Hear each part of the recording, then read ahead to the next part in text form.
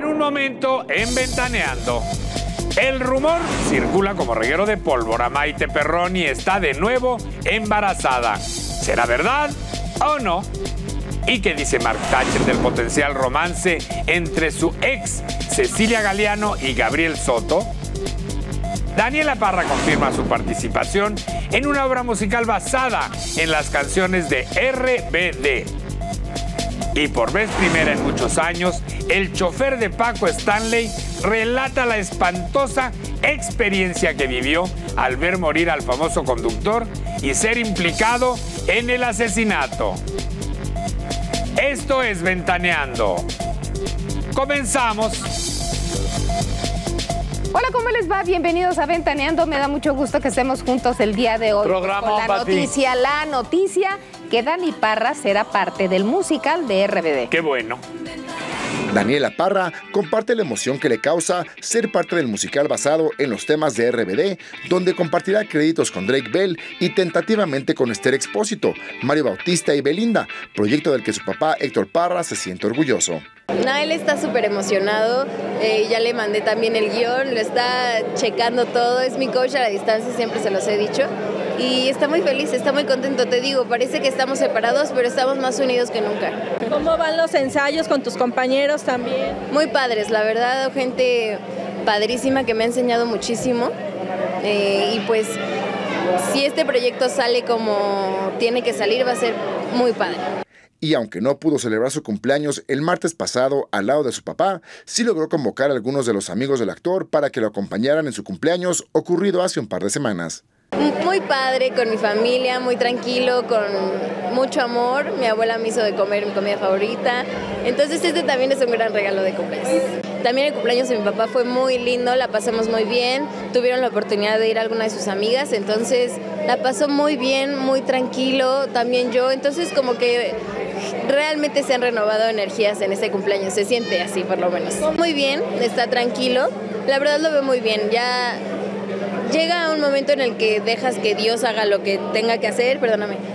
Y pues estamos esperando, los tiempos de Dios son perfectos, los abogados están haciendo lo que corresponde y pues esperando a nosotros, pero él está bien, está tranquilo. Daniela acudió a la alfombra roja de Jurassic World The Exhibition, ubicada en una reconocida plaza comercial al sur de la Ciudad de México, con imágenes de Froilán Martínez para Ventaneando Montserrat Rosas. Ah, pues es. Y cambiamos de tema a algo más delicado y bonito. A propósito de RBD, Pati, Ajá. del eh, proyecto que nos comentaba Daniela, pues resulta ser que había una noticia de que Maite Perroni estaba embarazada. ¿Pero quién dijo? Ah, Pero pues salió. Ya ves que- a la nena. Tiene 10 meses. Mira, a la gente Ya ves que nos embarazan hasta nosotros, Pati. Bueno, sí es cierto. y nos matan. Sí, Pero exacto, para, bueno. pues, ir a la fuente primigenia, entrevistamos a quién creen, a su esposo. Al marido, claro, que diga. que no. Muchos son los rumores que aseguran que Maite Perroni está en espera de su segundo bebé, y para quitarnos de dudas, le preguntamos a alguien muy pero muy cercano a ella, su esposo Andrés Tobar. No, bueno, pues les agradecemos todos sus buenos deseos y bendiciones, pero no, no es cierto. No, no estamos embarazados. Eh, en cuanto sea así, pues se los, ya se los contamos, ¿no? Pero por ahora no. ¿Tienes idea de dónde pudo haber salido el rumor o No, la, la verdad es que no. No, no. La vez pasada yo recuerdo que por ahí un paparazzi salió diciendo que estaba embarazada, que se le encontró y que le tomó fotos. Haciendo cuentas de esa publicación, pues, mi hija nació a mitad de mayo. O sea, mi hija hubiera nacido de 10 meses, 10 meses y medio. Pues bueno, pues nada que ver. Ni estamos esperando un mes, ni tres meses, ni nada. No, por el momento no. ¿Pero están buscándolo? ¿Les gustaría tener un hermanito o hermanita para Lía? O? Pues nos gustaría, nos gustaría que, que Lía crezca, por supuesto, acompañada, crecer la familia, estamos felices con ella. Eh, por supuesto que sí, pero pues estamos también dejando que, que- que Dios y que la vida pues eh, haga, lo, haga lo suyo, ¿no? No estamos en ningún tipo de procedimiento, ni mucho menos, simplemente eh, tenemos nuestra vida y, y ojalá sea así y que sea lo que Dios quiera. En otros temas, Andrés nos puso al tanto de la demanda que su esposa y sus compañeros de RBD, Christopher Uckerman y Cristian Chávez, interpusieron en contra de Guillermo Rosas, ex manager de la agrupación, y quien se asegura les robó varios millones de dólares de la primera etapa del Soy Rebelde Tour. De- Respecto al proceso legal con RBD, pues hay un proceso abierto que debe llevar su curso y por el momento pues hemos decidido no dar ninguna declaración ni ningún comentario al respecto para poder respetar que ese proceso que está en tribunales. Todos en California, ¿cierto? Sí, es en Estados Unidos. Todo se lleva allá. ¿eh? Con imágenes de Israel Vázquez para Ventaneando Ricardo Manjarres. Bueno, pues o no sea, está sí, es- embarazada. sí está esperando, pero está esperando ganar la demanda en contra de Guillermo Rosales que le Claro. pintaron allá en Los Y Ángeles. hace bien para que no pase estrés. Oye, pues, en qué atento su marido. Muy. Gracias, Andrés, gracias. Y bueno, Daniel, Fíjate que tenemos entrevista con mi Mark Thatcher. sí, ¿qué dice? Pues habla de todo de lo de Cecilia Galeano, que fue su pareja durante mucho tiempo. Yo no me acordaba de eso. y ¿Cómo? Sí. No me de acordaba. hecho, como Mark no tuvo chavos, niños, eh, cuando con los de Cecilia, pues él era básicamente El papá. su- el papá. Y aquí tenemos entrevista con Mark que habla hasta de los hijos de Thatcher, de su hermano, mire Sí, usted. hay una foto muy bonita de ellos. Aunque han pasado casi 10 años de haber finalizado su compromiso con Cecilia Galeano, el actor y conductor Mark Thatcher dice mantener una buena y cordial relación con la Argentina, a quien en las últimas semanas se le relacionó con Gabriel Soto, su compañero en la obra El Precio de la Fama, y quien acaba de confirmar su rompimiento con Irina Baeva. Pues sí, la verdad que hasta que no se sepa qué vamos a decir, ¿no? Lo que sí ya sabemos es que ya hay un comunicado, ya se separaron Gabriel e Irina y eso es lo, o sea, eso es lo único que yo te puedo decir al respecto, digo. ¿Y qué podrías decir de Ceci como persona? Ah, A mí me cae increíble. Con Ceci tenemos una relación espectacular. No es que nos hablemos, no es que tengamos contacto, un feliz cumpleaños, todo bien. Pero yo con ella tengo una relación súper sana, súper, sí, súper saneado, súper tranquilo, súper amigos. Por otro lado, Mark se dice pleno de su relación de cuatro años con Michelle Altamirano. Estoy con mi novia hace cuatro años, con Michelle Altamirano, estoy feliz. Eh, llevamos una vida tranquilísima. Ella como terapeuta y empresaria. Eh, eh, la verdad que nos hemos compaginado excelente. Entonces, llevamos una vida, aunque no me recuerden, muy feliz. ¿Y tienes planes de llegar al siguiente paso al altar o ustedes tienen claro que así están bien? Así estamos bien, así es. Ni casarnos ni tener hijos, no, no está en planes. Nunca he visto un Marxito caminando, nunca. Con todos los hijos que tuvo tu hermano, pues ya Ya cumplieron la cuota. La cuota, hombre, no, hombre, pues este ya necesita, así no, ¿para qué le decimos? Hay, hay que pedirle apoyo al IMSS. Mark asistió a la alfombra roja de Jurassic World The Exhibition a un costado de una plaza comercial al sur de la Ciudad de México. Con imágenes de Froilán Martínez para Ventaneando Montserrat Rosas. Me gustó la foto de los hermanos Sí, ¿verdad? Thatcher, que hacía años que no los veía yo juntos.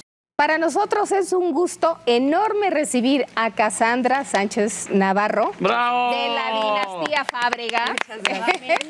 Oye, qué fantástico que estás ahora en Cabaret. Daniel llegó después de que te vio, bueno, fascinado. Encantado, sí, claro, yo fui a tu estreno precisamente.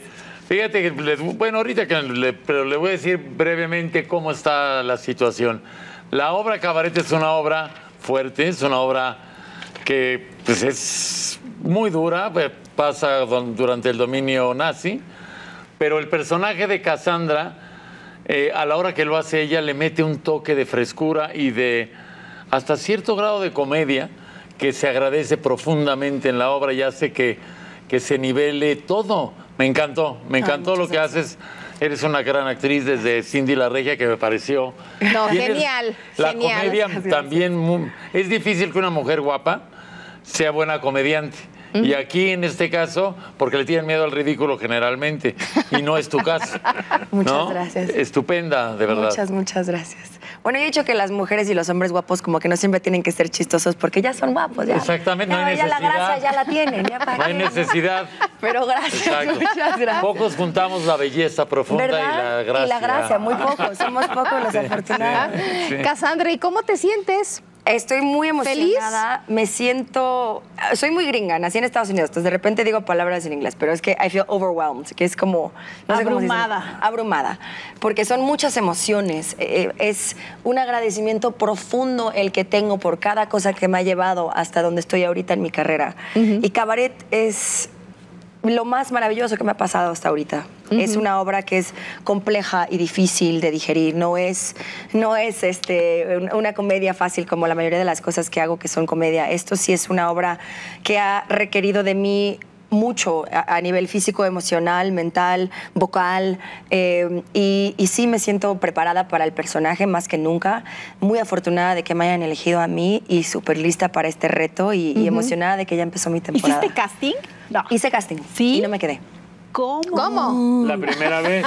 La primera vez, pero lo que es tuyo es tuyo, mi amor, y nadie te Claro. lo quita. Entonces me tocó, por, por, porque sí, porque me tocó a mí eh, ahora hacerlo y, y no lo voy a dejar ir. Así que suerte, ahí voy a estar hasta enero del 2027. Ay, qué hija. Este, ahí me van a poder ver.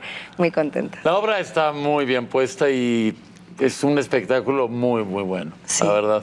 ¿Por qué te Vayan vemos de cabello negro y estás de rubia? Es que eh, para los que conozcan la, la historia, se hizo una película también eh, y, y- y el personaje siempre ha tenido el pelo negro, pero yo con el pelo negro me endurezco mucho.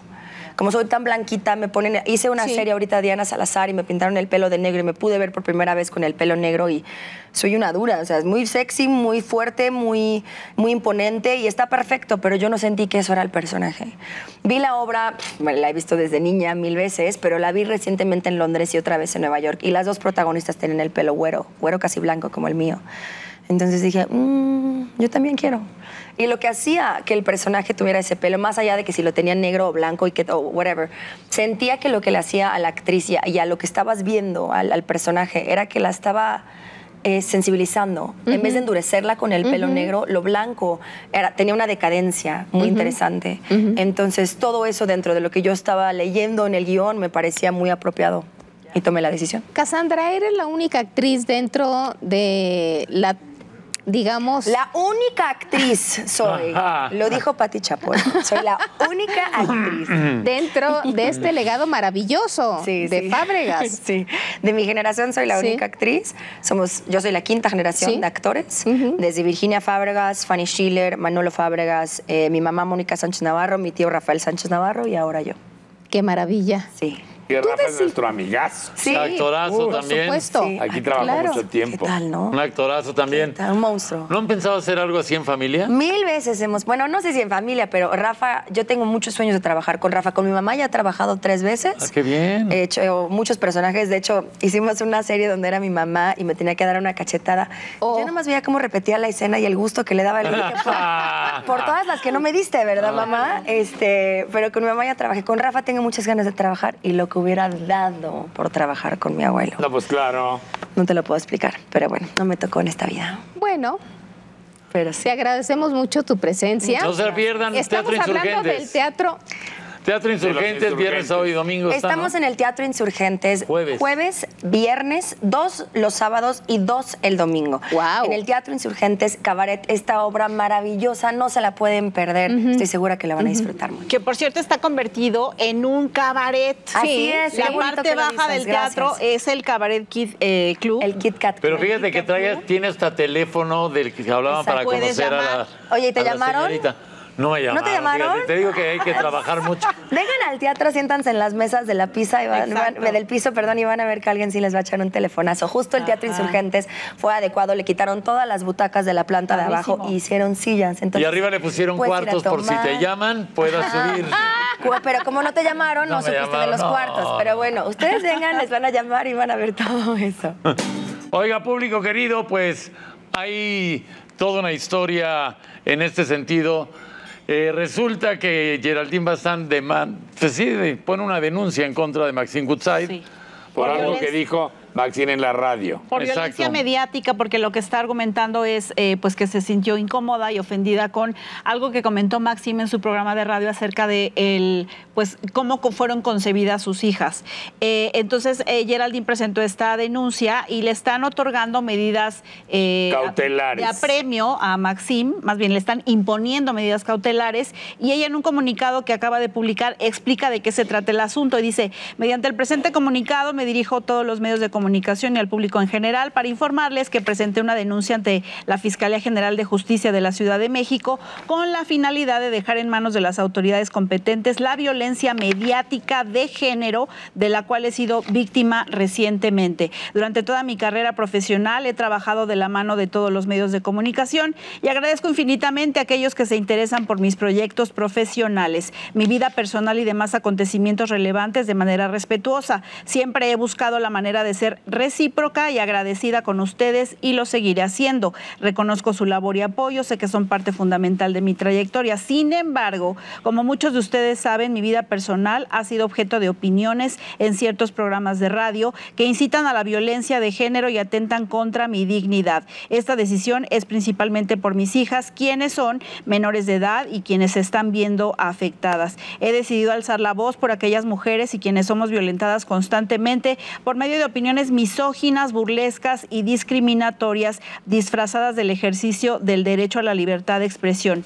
Ello con el objeto de invitarlos a dejar de normalizar estas conductas reiterativas y poco señaladas en nuestro México. Bueno, continúa el comunicado. ¿Pero qué fue lo que dijo es? Básicamente, pues habló de cómo fueron concebidas las niñas. Maxim Pero eh, ¿cuánto comentó- duraron de matrimonio, Maxine? Digo, eh, Geraldine y el marido. Soto Maxine, Geraldine, pues duraron sí, ¿no? un buen rato. Una relación larga y luego se casaron además, ¿no? Entonces, bueno, pues habrá que preguntarle a Maxim también acerca de esta, esta controversia, pero Geraldine está pues consiguiendo que la autoridad le imponga estas medidas de apremio a Maxim. Uy, Dios. No También- puede referirse a ella, no se puede acercar, no la puede molestar en su domicilio. Bueno, dudo mucho Que que dudo Maxim mucho que vaya Maxine a tocar el timbre ¿no? y echarse a correr, ¿no? Pero la cuestión aquí es que muchas veces eh, nosotros decimos cualquier cosa y el problema está en cómo lo entiende También es eso. el sí. afectado, ¿no? Y entonces hay una un mar de diferencia entre cómo se dijo las cosas o con qué intención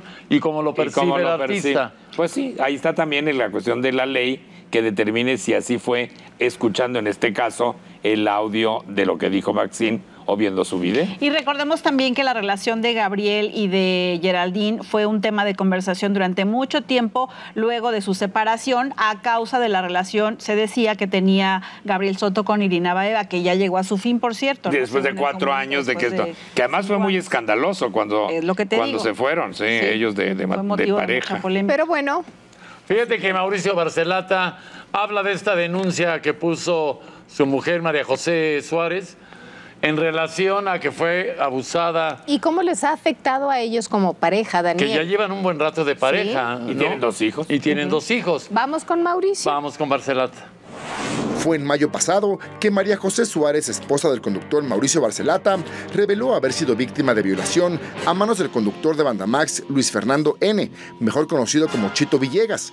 Y aunque Mauricio se ha mantenido firme apoyando a su esposa, se sincera con Ventaneando y admite que han atravesado por momentos que los han hecho tambalearse no solo como familia, sino también como pareja.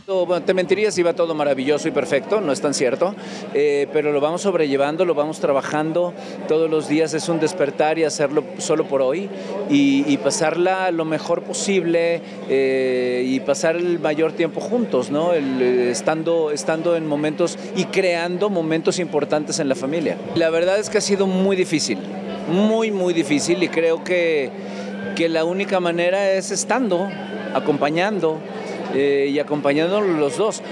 A veces dice uno hay que ser fuerte, pero la fortaleza a veces se va terminando y uno se cansa también de, ser fuerte y hay momentos en que te vuelves débil y lloras y gritas y te acercas a una terapia y, respiras y te acercas a la familia y te dejas abrazar por tu esposa y, ella te abraza. Es, es complicado, pero creo que eh, tenemos la voluntad y las ganas de hacerlo todos los días. Y ahí vamos sobrellevando. Te digo, es un, un trabajo de día a día y es un trabajo de alcohólico. Es solo por hoy. Mañana no sé qué pasa. Y ha, ha habido momentos donde hemos estado a punto de tirar la toalla los dos y decir ya. Pero tenemos la voluntad las, las, y, la, la- manera de- de lograrlo y seguimos intentándolo y seguimos haciéndolo todos los días. Mauricio asistió acompañado de su familia a la alfombra roja de Jurassic World de Exhibition. Con imágenes de Froilán Martínez para Ventaneando Monserrat Rosas. En corto, Víctor González Herrera negó el romance que se le atribuye con Irina Baeva. El empresario farmacéutico asegura que desde hace cinco años tiene un noviazgo formal con otra persona. En corto, Los Ángeles Azules recibirán el premio a la excelencia musical en la edición 2024 de Latin Grammy, que este año celebra su 25 aniversario. En corto, a partir de este sábado 20 de julio, La resolana del Capi Pérez se muda a las 11 de la noche al terminar Rocío al límite. Los invitados serán Stephanie Salas y el conferencista Jorge Lozano. No te lo pierdas. En corto, los rumores del divorcio entre Jennifer López y Ben Affleck crecen, pues en su segundo aniversario de bodas, la cantante andaba sola en los Hamptons en Nueva York, dando un paseo en bicicleta. Pobre Jennifer, este no ha sido su año, ni modo. Voy a hablar con ella a ver qué ¿Cómo lograron la entrevista con el chofer de, de Paco? Fíjate que Jorge ha sido una persona sumamente discreta en este tenor. Eh, él estuvo en la cárcel junto con Paola Durantes y el Cholo. Eh, pues pasaron de ser testigos Mario. a ser indiciados y Mario, por supuesto. Y finalmente, ahora que salieron estas series y estos documentales acerca de la muerte de Paco Stanley, 25 años después, pues resulta ser que se animó con Ventaneando a contar su testimonio de principio a fin de cómo vivió él siendo el chofer de Paco esta sesión. Un, milagro, un milagro que estuviera vivo. Sí, pues sí, porque también. Veámoslo, Jorge, de milagro. Jorge Gil. No, pero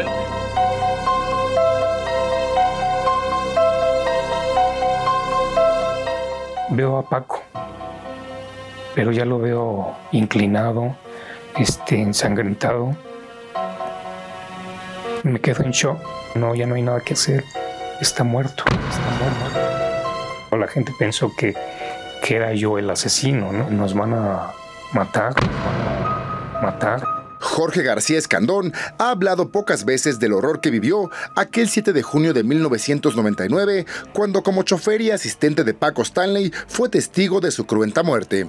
Salvó la vida de milagro, aunque no sabía el calvario que le esperaba al pasar de potencial víctima a sospechoso del crimen más sonado del espectáculo en las últimas dos décadas. Este es el testimonio que comparte en exclusiva con Ventaneando a propósito de los recientes proyectos televisivos que 25 años después han vuelto a refrescar en la memoria del público el lamentable hecho. Saliendo del foro, Paco fue cuando dijo, vamos al charco. Mario en ese momento recibió llamada. Se escuchó cuando dijo Mario, pues vamos a ir a darnos un charcazo. Paco, Jorge Gil y Mario en una mesa, los escoltas y yo en otra. Paco se, se levanta y dice, voy al baño. Este, le da el dinero a Jorge, a Jorge Gil, para que pagara. Eh, se levanta Mario y se va con, con Paco al baño. Eh, entran al baño, sale primero Paco y me dice, ya está, ya está todo, ya vámonos.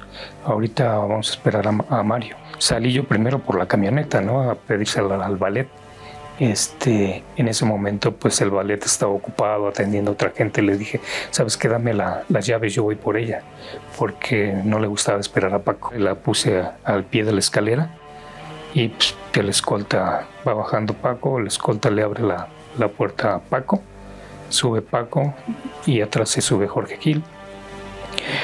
Después me subo yo al volante, estaban los vidrios abajo. Me dice Paco, cierra los vidrios porque voy a prender el aire. Hace calor.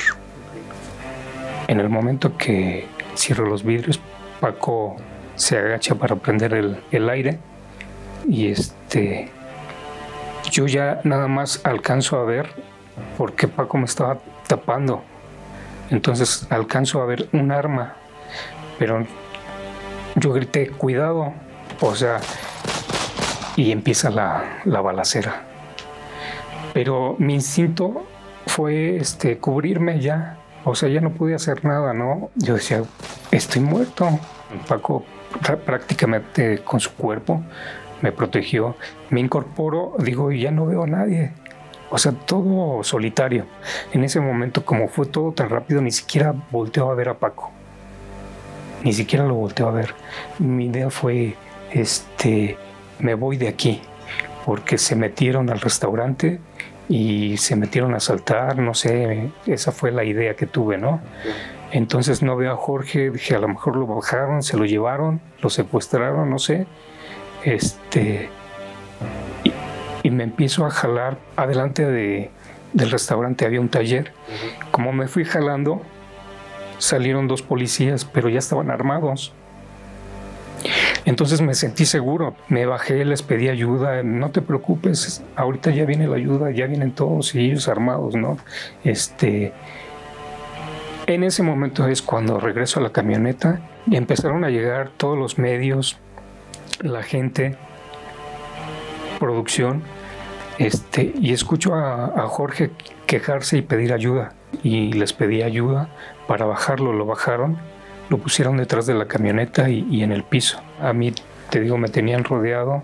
Este, yo no me separaba de, de la camioneta viendo a Paco, me quedé en shock. Casi me desmayaba. Este, cuando se sube un motociclista y me dice, déjame subir a checarlo. Se sube a checarlo y me dice, baja y me dice, no, ya no hay nada que hacer, está muerto. En ese momento grité, lloré, no sé, no sabía qué hacer. Llegó su hijo, llegó la producción, este, preguntándome qué había pasado. Alguna conductora de algún medio llegó y, y diciendo es que ya lo tienen detenido, ya lo agarraron. Y toda la gente pensó que, que yo había sido, que yo había sido. Llegaron los judiciales, me sacaron de ahí, me iban diciendo que confesara, que, que no me la iba a acabar, que me iban a, a golpear, hasta que llegó y una mano evitó que se, que se cerrara la puerta de la patrulla y me dicen, no se lo lleven, yo soy su abogado. Y, y cuando volteó era el abogado de, de, de hijo de Paco. Y en ese momento no me dejó. Se subió también a la patrulla, nos llevaron a, a una, a una delegación, nos metieron a los escoltas y, y a mí a un cuarto, incomunicados. Pero en otra entrega, el momento que Jorge se entera que ha sido condenado por la muerte de quien fuera su patrón y protector. Yo pensando, la verdad, en el suicidio, ¿no? Porque dije, pues ya no voy a salir ya, ya no voy a salir ya. Con imágenes de Jorge Castañeda para Ventaneando Roberto Hernández. Qué horror, qué, mañana. pero qué maldición, qué maldita autoridad, oye. Sí, sí, terrible. Qué barbaridad. si Lo el mal señor que estaba- hizo a tanta gente. No, y además, oye, Pati, ¿cómo va a participar en el complot que él recibió los balazos aquí? A riesgo de morir. del coche. Adentro del coche, pues ¿cómo? Exactamente. Pues En mañana fin. más, mañana más. No, exclusiva. tenemos entrevista, perdón. Perdóneme. ¿Ya ves? ¿Ya ves cómo Con también? Belinda. Es que también dormí en el chi- dormimos en el chiflón, en la hamaca. en la hamaca. Pero mi Belinda, querida, público querido, está de vuelta. Va a estar en la serie Parece ser que. RBD. de RBD. Y me gusta, ¿qué personaje hará? ¿El de Anaí? ver, Pues vamos a, A ver, preguntarle. ¿Será el de Anaí? Beli, ¿cómo has estado? Grabando nueva música aquí en Monterrey. Sí, muchas gracias. Oye, también va a ser de corridos tumbados, Beli. Platícanos un poquito. Especial. Pero qué especial. También es- vimos que va a ser un himno para las mujeres. Así es, va a ser una sorpresa. Con J. Rosa. Van a ver. Oye, ¿y cuándo vas a lanzar Mala? 15 de agosto. Cuidado, cuidado. Claro, claro, claro. Oye, Beli, ¿ya tuviste oportunidad de hablar con el babo por lo que dijo la vez pasada? Ya no se volvió a dar esa colaboración.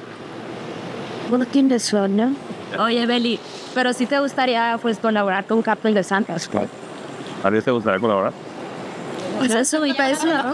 Es un grupo muy padre, ¿no? Sí, hablar bien de Oye, Beli, y, y pues cómo manejas todo tipo de chismes que la vez pasada dijeron que te, que te fuiste en una maleta.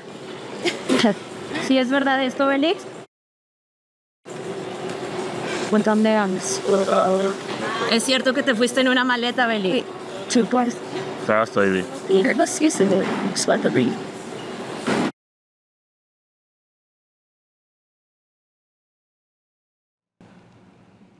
Con la la almohada abrazada, oye. Iba pues ¿no viste que dice? ¿Pero de no, dónde llevará pero- esa almohada? Pero son cosas tan absurdas. Se la trajo Si- del hotel. Si va Ah, contestando, seguramente. va contestando, tan bonita que es, levanta la cabeza para que te vea. Pero- No, porque hay que ver dónde pisa uno. Eso es muy importante. Ver para abajo. Tres cucarachas con todo en el aeropuerto de Monterrey de aquí a que llegó a la camioneta. Además la llevaban de la mano. No, no, no. La chica de atrás, que es su amiga, llevaba la maleta por si había que salir huyendo, raude y veloz, dentro de la maleta. Qué buena onda que las amigas también son cargadoras. El joven de negro de la playera, ella lo iba, de- lo llevaba del hombro. O sea, Sí. no, no, no sé.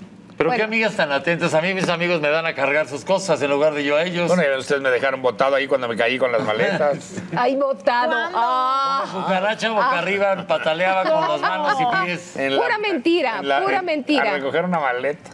Oye, pues sigue dando mucha eh, información este homenaje de Andrea Bocelli, porque resulta que se encuentra Nodal con Johnny Depp. Con Johnny y que Depp. parecen hermanos, Oye, dicen las vestidos redes. igual, pero le gana el tatuaje es Nodal, ¿eh? Sí, tiene más. Ay, ¿Tiene ahora, más? Le ganó. her- hermanos sí se la bañaron un poco. Pues que se parecen, Pues que mira, como gemelos. Ay, mira la mamá. Cristina Nodal. La mamá de, Jo- la mamá de no, Johnny Depp. No, de Nodal. Y tiene las manos de- del hombre, manos de tijera como Johnny Depp. No, hombre. No, es un Anda en. Venecia, Ah. en Venecia. Está paseando en Venecia. Mira qué bonito. Es que andan acompañándolo en la gira de Europa. Va a Milán ahora, Cristian, y pues andan con él. Ahí está Qué bueno, Imagínate la mareada para pintar ahí la, la capilla Sixtina. Además, fíjate qué padre, Pati, que los papás son tan jóvenes. Sí. Ese muchacho es tan los Sí, papás son muy jóvenes. muy jóvenes. también.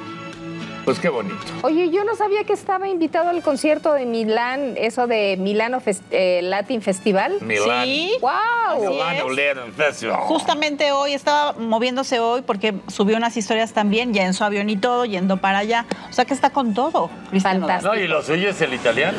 Bueno, mi gente, terminó la misión por acá por la Toscana. Los espero mañana en Milán. Ya vamos rumbo para allá. Los amo mucho. Bonito día a todos. ¡Wow! Oye, ya se Muy quitó bien. los tatuajes de la cara, qué bueno. Algunos. Todavía Pero tiene dos que Pero tres ¿cómo? por ¿Para ahí. qué va la Toscana? Si, si es en Milán, vuelas a Milán, ¿no? Bueno, pero es la región de la Toscana. Es la región. Exacto. En fin. Fue más al norte. Oigan, fíjense que Patricio Cabezut habla de nueva cuenta. Yo lo veo más sereno, un poquito más plantado en relación a todo lo que le está pasando, Y que no es que- cualquier más cosa. Tiene que tener cabeza fría porque el pleito No con otra. Aurea Zapata no ha sido fácil. No. Aquí nos explica bien a bien cómo ha sido todo este proceso, que ha sido tan largo, ¿Y cómo? tan intrincado y complicado. Y lo que pasó cuando le avisaron. Patricio Cabezut reveló en exclusiva para Ventaneando que se enteró de que tenía una orden de aprehensión en su contra mientras se encontraba en la Fiscalía General de Justicia de la Ciudad de México para tomar acción por un video donde su ex Aurea Zapata confirmaba que estaba escondida con sus dos hijas por miedo a que se las quitaran por la fuerza. Fue ahí donde el conductor supo que algo inquietante pasaba en torno a su caso, aunque nunca imaginó que se trataba de una denuncia que pondría en riesgo su libertad. Yo me presento con mi abogado Oscar el lunes 25 de marzo para ingresar en oficialidad de partes este Instagram que ella publica porque esto es violencia mediática y está admitiendo un delito, el de tener cautivas a dos menores. Para ese día ya estaba girada la orden de aprehensión. Yo hablo con mi abogado, le digo, oye, me dijeron que aparentemente algo extraño o algo malo me puede ocurrir. Y es cuando el abogado me dice, Vete tranquilo, desconecta tu celular y vamos a meter un amparo indirecto por cualquier cosa, porque no sabemos qué está pasando. Un periodista pone en su red social, hay una orden de aprehensión girada en contra de Patricio Cabezut y pone, gracias a la prueba, antenas, las menores demostraron que tienen una afectación e inmediatamente el equipo de ustedes de Ventaneando van y entrevistan a la creadora de antenas esa misma tarde y en el programa ponen, oye, pues aparentemente hay una orden de aprehensión dicho por este periodista, pero el periodista está informando mal. No hay ninguna prueba de antenas. La creadora de antenas dice, aquí no han traído ninguna niñas. Pese a lo difundido en redes sociales y algunos medios de comunicación, la abogada de Patricio afirma que nunca estuvo prófugo de la justicia. Patricio nunca estuvo prófugo.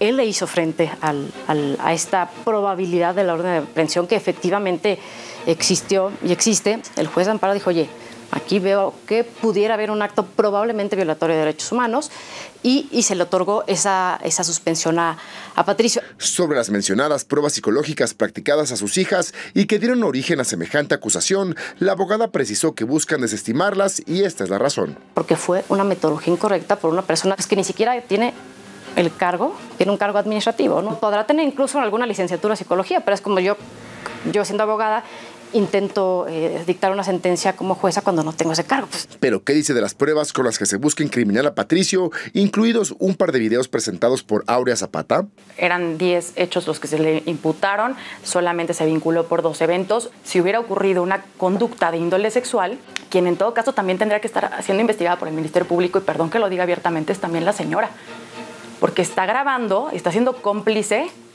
de un, de un delito, si realmente existe el delito. Tan no hay delito que la propia madre está grabando una situación familiar y descontextualizándola. Y eso sí lo puedo decir abiertamente. Más adelante, ¿qué es lo que muestran los videos con los que Aurea Zapata busca probar que sí hubo abuso sexual en perjuicio de sus hijas? Hay una acción en donde por un momento se, se me alcanza a ver la virilidad. Con imágenes de Rodolfo Ortiz para Ventaneando, Daniel Aguilar. Sí, eso mañana. Eso mañana aquí en Ventaneando. Mientras tanto, tenemos entrevista con Anabel Ferreira. Fíjate lo que comenta. Sí, fíjate. Que descubrió que tuvo, un- que fue víctima de un abuso sexual gracias al movimiento Me Too. Bueno, pues además ¿Cómo? Entonces ella no sabía. Tenía 19 años, Pati. Los años que hace que todavía esas cosas. no se eran, hablaban. eran normales, ¿Qué- qué- ¿no? qué O- quieres no decir? normales, sino como que no. Sí. Eran comunes. tenías la conciencia Sí, de que eran. Tenía 19 años, ¿qué quieres decir? ¿Quién hubiera imaginado que el movimiento Me Too, surgido en 2018 para denunciar casos de violencia sexual, sería el detonante para que Anabel Ferreira pudiera identificar que ella misma había sido víctima de un intento de abuso cuando tenía 19 años de edad? La actriz relata por qué decidió hablar después de casi cuatro décadas. Porque lo consideré importante. Si no, me lo hubiera reservado, ¿no? No soy una persona, ustedes me conocen, que esté divulgando su vida privada. Fue con el Me Too cuando yo dije, a ver, me hicieron, o sea, me- hizo sentido toda la anécdota y dije, a ver, este infeliz, y yo le había dicho que no. Y además no sucedió. No, o sea, yo sí me brinqué de una terraza de un décimo séptimo piso a la otra terraza para pedir auxilio, pero, pero no pasó. Y, y no es un asunto que yo guarde como de gran importancia en, en mi psique, honestamente no. En otros temas, Anabel lamenta que hoy en día se relegue a primeros actores de proyectos laborales para dar paso a quienes son más populares en redes sociales. No tiene nada que ver eh, el número de seguidores o, o incluso a veces la fama no necesariamente va ligada al talento y creo que el talento es lo que tiene que prevalecer. Anabel ofreció una conferencia de prensa para anunciar el estreno de la obra El enemigo del pueblo el próximo lunes 22 de julio en el Foro Shakespeare de la Ciudad de México, con imágenes de Jorge Castañeda para Ventaneando Monserrat Rosas. Nos vemos mañana, misma hora, mismo canal. Pásenla muy bien. Gracias. Hasta mañana. Ventaneando, así que... Ya me hasta el cielo, solo para no irte a buscar por las noches. Cuando la soledad me abraza y no me deja ver. Este programa de televisión se llama Ventaneando y que el que no cae resbala. Ventaneando es ventaneando.